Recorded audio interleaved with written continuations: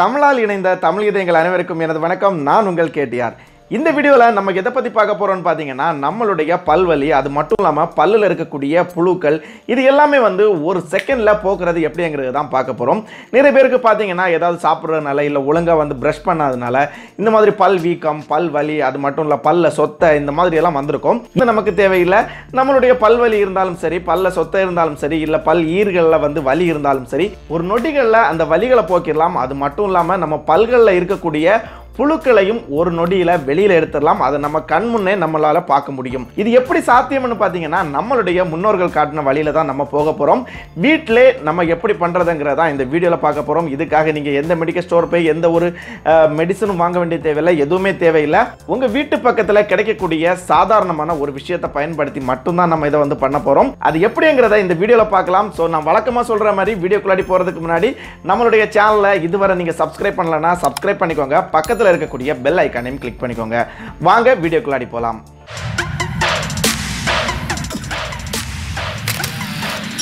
இப்போ நமக்கு இருக்கக்கூடிய பல் வலியாக இருக்கட்டும் பல் வீக்கமாக இருக்கட்டும் பல்ல இருக்கக்கூடிய புழுக்களை எப்படி எடுக்கிறது இது எல்லாத்துக்குமே தேவை என்னன்னு பார்த்தீங்கன்னா கண்டம் கத்திரிக்காய்னு சொல்லக்கூடிய அந்த கத்திரிக்காய் தான். இந்த கத்திரிக்காய் பார்த்தீங்கன்னா நம்ம சாதாரணமாக வீட்டில் வைக்கக்கூடிய அதாவது சாம்பாருக்கு இதுக்கெல்லாம் பயன்படுத்தக்கூடிய கத்திரிக்காய் இல்லை. இது வந்து நீங்கள் பார்த்தீங்கன்னா ரோட்டோரத்தில் நிற்கும் உங்கள் வீட்டு பக்கத்தில் கூட நிற்கும் இந்த செடியை பார்த்தீங்கன்னா முள்ளு முள்ளாக இருக்கும். நீங்கள் பறிக்கிறதா இருந்தால் கவனமாக பாருங்க நான் இது எங்கேருந்து வாங்கினேன்னு பார்த்தீங்கன்னா என் வீட்டு பக்கத்தில் இருக்கக்கூடிய நாட்டு மருந்து கடையில். ஸோ என் வீட்டு பக்கத்தில் இருக்கக்கூடியது மட்டும் இல்லை உங்களுடைய வீட்டு பக்கத்தில் இருக்கக்கூடிய நாட்டு மருந்து கடையிலையும் இது கிடைக்கும். கண்டம் கத்திரிக்காய் விதைன்னு சொல்லி கேட்டு வாங்குங்க. கண்டம் கத்திரிக்காய் முழுசா வாங்க வேண்டிய தேவையில்லை. கண்டம் கத்திரிக்காய் விதை போதும் ஐம்பது கிராம் போதும் கிட்டத்தட்ட இருபதுல இருந்து இருபத்தஞ்சு ரூபா தான் ஆகுது. அடுத்ததான் நமக்கு தேவைப்படக்கூடிய விஷயம் என்னன்னு பார்த்தீங்கன்னா வேப்பெண்ணெய். இதுவும் பக்கத்தில் இருக்கக்கூடிய மருந்து கடையிலே கிடைக்கும். ஒரு ஐம்பது எம்எல் நமக்கு போதும்.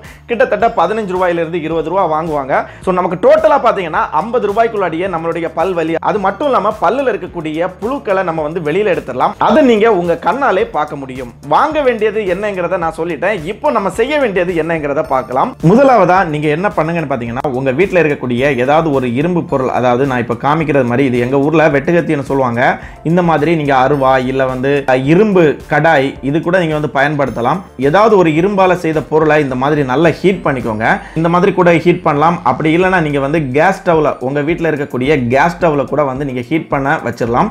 ஸோ நம்ம இப்போ வந்து ஹீட் பண்ணுவோம். ஸோ ஹீட் பண்ணிட்டு இருக்கக்கூடிய நேரத்தில் நம்ம இன்னும் ஒரு சில வேலைகள் வந்து பார்க்க வேண்டியது இருக்குது அது என்னென்னு பார்த்தீங்கன்னா கண்டம் கத்திரிக்காய். நீங்கள் வீட்டில் வந்து பறிச்சதாக இருந்தால் கண்டிப்பாக அது வெயிலில் போட்டு காய வச்சு அதுக்கப்புறம் எடுத்துக்கோங்க. அப்போ தான் வந்து அந்த விதை வந்து நமக்கு பயன்படும்.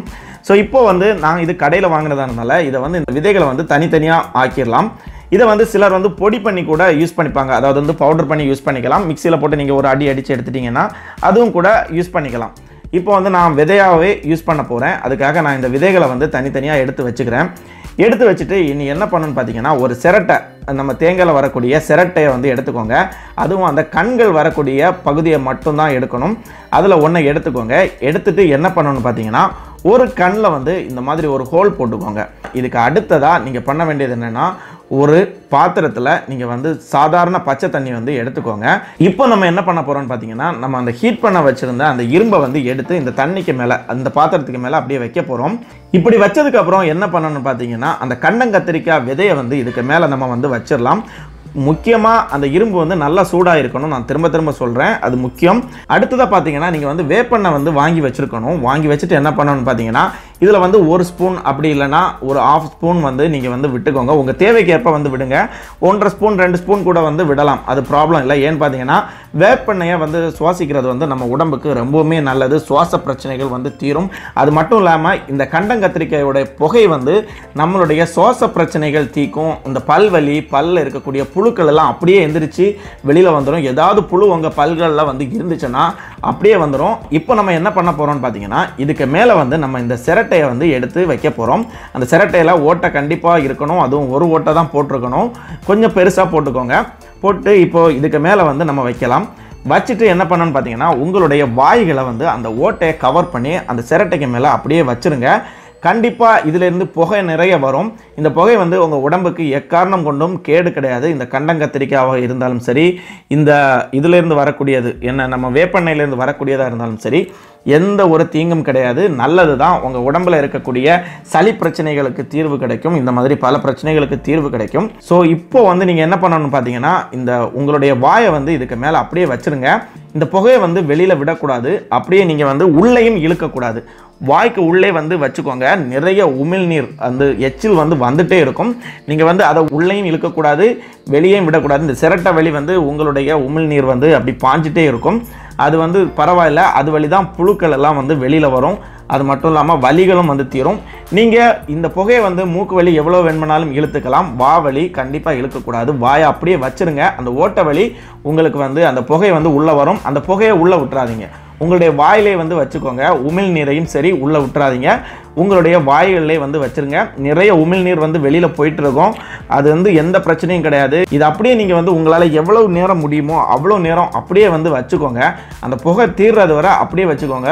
பல்லில் புழு இருந்தால் உடனே வந்து அந்த தண்ணி அதான் நம்ம அடியில் வந்து அந்த தண்ணி வச்சுருக்கிறது எதுக்குன்னு பார்த்தீங்கன்னா உங்களுடைய பல்லிருந்து வரக்கூடிய அந்த புழுக்கள் வந்து அதில் விழும். அதை உங்களால் பார்க்க முடியும். அதுக்காக தான் இந்த தண்ணி வந்து வச்சுருக்குறோம்.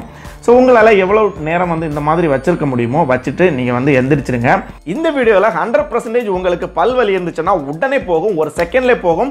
நீங்கள் வந்து ட்ரை பண்ணி பாருங்கள் அது மட்டும் இல்லாமல் பல் வீக்கம் இந்த மாதிரி எது இருந்துச்சுனாலும் ஒரு செகண்டில் வந்து உங்களுக்கு இந்த அதாவது நான் இப்போ சொல்லி கொடுத்ததை நீங்கள் செய்தீங்கன்னா உடனே வந்து போயிடும் அது மட்டும் இல்லாமல் சொத்தை பல் அதில் புழு இருக்கிறவங்க கண்டிப்பாக இதை ட்ரை பண்ணுங்கள் உங்களுடைய புழு உங்கள் பல்லுல இருந்து வெளியில் வந்து அந்த தண்ணியில் விழுறத நீங்கள் உங்கள் கண்ணாலே பார்க்க முடியும். ஹண்ட்ரட் பர்சன்டேஜ் பார்க்க முடியும். ஏன் என்னால் காமிக்க முடியலன்னு பார்த்தீங்கன்னா சொத்தை பல்லுல யாரும் கிடைக்கல. ஸோ கிடைச்சிருந்தாங்கன்னா அவங்களே உங்களுக்கு டெமோவாக நான் காமிச்சிருப்பேன். ஸோ இப்போ நீங்கள் பார்த்தது வந்து ஒரு டெமோ தான். இதே மாதிரி நீங்கள் செய்தீங்கன்னா ஹண்ட்ரட் பர்சன்டேஜ் வந்து உங்களுக்கு ரிசல்ட் இருக்கும். அப்படி உங்களுக்கு சந்தேகம் இருந்துச்சுன்னா கூட உங்களுடைய முன்னோர்கள் கிட்ட கேட்டு பாருங்கள் அதாவது உங்களுடைய தாத்தா பாட்டி இவங்க கிட்ட கேட்டு பாருங்கள் கண்டிப்பாக இதை பற்றி அவங்களுக்கு தெரியாமல் இருக்க வாய்ப்பே இல்லை. கண்டிப்பாக அவங்களும் சொல்லுவாங்க. இப்போ நான் சொல்லி கொடுத்த இந்த சித்தர்களின் நாட்டு வைத்தியத்தை நீங்கள் செய்ய போறீங்கன்னா கமெண்ட்டில் தெரிவிங்க. கண்டிப்பாக அது மற்றவங்களுக்கு யூஸ்ஃபுல்லாக இருக்கும்.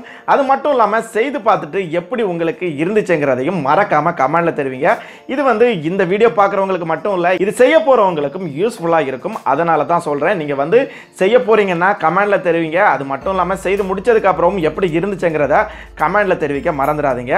இந்த வீடியோ பிடிச்சிருந்தனா லைக் பண்ணுங்கள் கண்டிப்பாக உங்களால் எவ்வளவு ஷேர் பண்ண முடியுமோ மேக்ஸிமம் ஷேர் பண்ணுங்க ஏன்னு பார்த்தீங்கன்னா இது பலருக்கும் வந்து உதவும். இப்போ உள்ள காலகட்டத்தில் வந்து பல்வலின்னு சொல்லிட்டு நீங்கள் ஹாஸ்பிட்டலுக்கு போனீங்கன்னா எவ்வளவு செலவாகுங்கிறது உங்களுக்கே தெரியும். அதனால் கண்டிப்பாக இது எவ்வளவு உங்களால் மேக்ஸிமம் ஷேர் பண்ண முடியுமோ அந்த அளவுக்கு ஷேர் பண்ணுங்க. அப்படியே நம்மளுடைய சேனலையும் சப்ஸ்கிரைப் பண்ணிக்கோங்க. பக்கத்தில் இருக்கக்கூடிய பெல் ஐக்கானையும் கிளிக் பண்ணிக்கோங்க. மீண்டும் ஒரு வீடியோவில் சந்திக்கிறேன். அதுவரை உங்களிடமிருந்து விடைபெறுவது உங்கள் கேடிஆர்.